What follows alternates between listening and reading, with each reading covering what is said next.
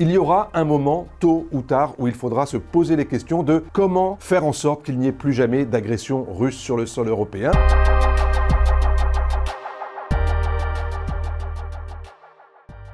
Au départ, c'est vrai que personne n'imaginait sérieusement que euh, l'Ukraine serait capable de résister aussi longtemps. Lorsque euh, l'armée russe envahit euh, l'Ukraine, tout le monde pense effectivement que ce sera une question de jours, peut-être de semaines, mais qu'en tout cas, la disproportion des moyens est telle que l'avantage est clairement à l'armée russe. Les seuls qui pouvaient déceler une capacité des Ukrainiens à résister sur la longueur, ce sont les Britanniques. Pourquoi? Parce que depuis 2014, ils ont veillé à équiper, entraîner, financer l'armée ukrainienne pour en faire une armée moderne, une armée à l'occidental qui rompt avec la pratique euh, de, de l'époque soviétique et qui est capable d'être plus agile, plus audacieuse, plus performante, plus moderne aussi en termes d'utilisation par exemple des réseaux numériques et des outils de la cyberguerre. Et c'est ça qui va permettre finalement aux Ukrainiens de résister partout et longtemps.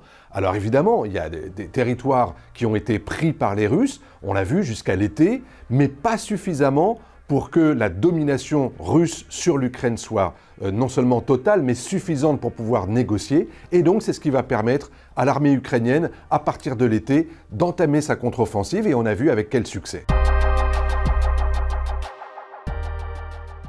L'armée russe, euh, on l'a tous constaté, elle n'est pas du tout à la hauteur des performances qu'on aurait pu attendre d'elle. Pourquoi? Parce que oui, il y a de la masse, oui, il y a des effectifs, mais en même temps, il y a euh, des carences. Carence dans le commandement. Il n'y a pas suffisamment d'officiers d'état-major présents, il n'y a pas d'état-major de cette opération spéciale sur place pour pouvoir encadrer et planifier les opérations, il n'y a pas non plus de commandement intermédiaire en nombre suffisant, ce qu'on appelle chez nous des sous-officiers capables d'entraîner et de motiver les troupes.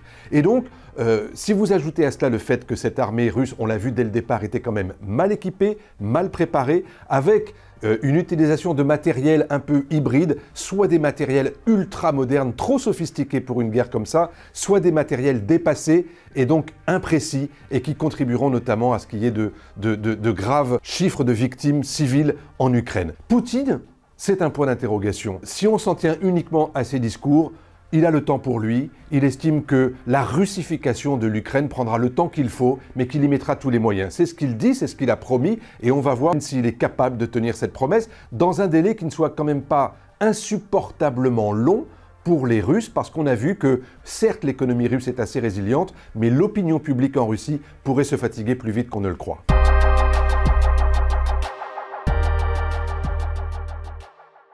C'est ce qu'on appelle euh, la théorie du conflit gelé, et les Russes sont passés maîtres dans cet art-là. Vous le voyez aujourd'hui euh, en Transnistrie, c'est-à-dire en Moldavie, avec des Russes qui sont toujours là euh, depuis l'époque soviétique, avec de quoi menacer ou intimider, ou en tout cas bloquer toute tentative de réunification de la Moldavie. On le voit en Géorgie, où depuis 2008, que ce soit en Ossétie ou en Abkhazie, les troupes russes sont là. Elles ont pris 20% du territoire de la Géorgie et c'est resté en l'état. Il n'y a pas de libération de la Géorgie aujourd'hui dans ses frontières de 1991. Et en Ukraine, c'est pareil, parce que si vous regardez le Donbass, 2014-2023, ça fait 9 ans aujourd'hui que cette situation n'est pas figée. Le front a un peu évolué depuis février dernier, mais tout de même, les Russes n'ont pas pris la totalité du Donbass. Ils ont certes la Crimée, mais on voit bien aussi que la Crimée est à portée de missiles de la part des Ukrainiens.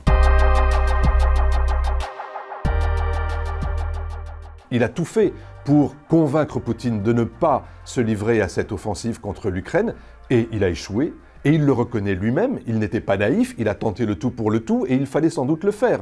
Il était en plus à cette époque-là président de l'Union européenne, euh, dans cette présidence tournante, et donc au nom des Européens, il est allé essayer de convaincre Poutine de ne pas euh, euh, agresser l'Ukraine. À partir du moment où il a échoué diplomatiquement avec Poutine, il a quand même malgré tout essayé de faire en sorte d'éviter le pire dans cette guerre, c'est-à-dire que Zaporizhia, par exemple, devienne euh, l'équivalent de ce qu'a été Tchernobyl en pleine guerre, un danger nucléaire pour toutes les populations d'Europe centrale. Et puis, il a essayé aussi de contribuer à faire libérer les céréales d'Ukraine pour pouvoir nourrir le reste de la planète, dans la mesure où l'Ukraine était l'un des plus grands producteurs de céréales au monde. Ça, c'est réussi. Est-ce que ça veut dire pour autant qu'il a convaincu Poutine d'arrêter la guerre? Non.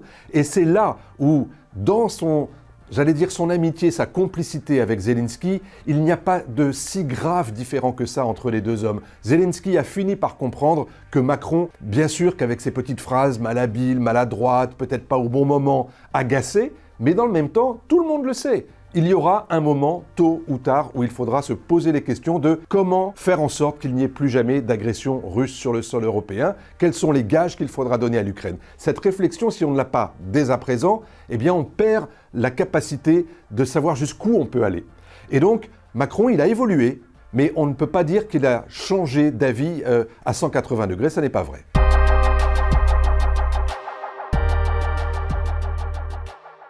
En fait, tous les pays voisins de la Russie se sentent menacés. Pas seulement euh, l'Ukraine, mais on l'a vu avec euh, depuis 2008, à partir du moment où la Russie a été capable d'envahir une partie de la Géorgie, tout le monde à partir de ce moment-là a, pensé qu'il était le prochain sur la liste. Aujourd'hui, la Moldavie pense qu'elle est la prochaine cible de Poutine. Mais vous avez aujourd'hui tous les autres pays frontaliers, et notamment euh, les pays baltes, bien sûr la Pologne, euh, qui pensent que Poutine reste une menace très sérieuse pour leur propre stabilité. Heureusement pour eux, ils font partie de l'OTAN. Ils savent que l'article 5 qui détermine la solidarité de l'Alliance Atlantique jouera en leur faveur si jamais les Russes ne bougent que d'un seul centimètre au-delà de leurs propres frontières. Ça, c'est l'assurance vie de ces pays-là. Mais ça ne veut pas dire que le danger est totalement écarté, et c'est pour ça que vous avez ces mesures de réassurance qui sont faites par les pays de l'OTAN, et notamment par la France, dans les pays baltes et en Roumanie, euh, pour pouvoir dissuader euh, l'armée russe de pouvoir tenter de déstabiliser ou même d'agresser ces pays sur le plan frontalier.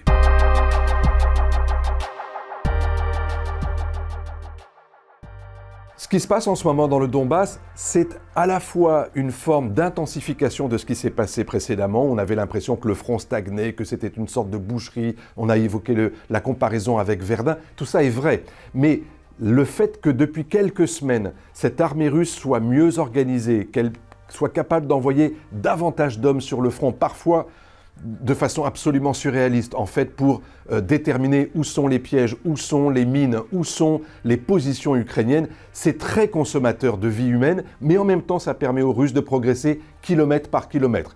Pas des centaines de kilomètres carrés, pour l'instant des dizaines. Mais oui, ça fait partie de cette contre-offensive russe, annoncée depuis l'automne par les Ukrainiens, et qui est en train de se réaliser pour l'instant dans le Donbass, et on va voir si elle est capable de s'imaginer, de s'inventer autrement, soit à partir du nord, c'est-à-dire via la Biélorussie, vers euh, Kiev, soit dans le sud, pour, après avoir euh, quitté Kherson, tenter d'y revenir, et par là même d'accentuer le front sud de l'Ukraine.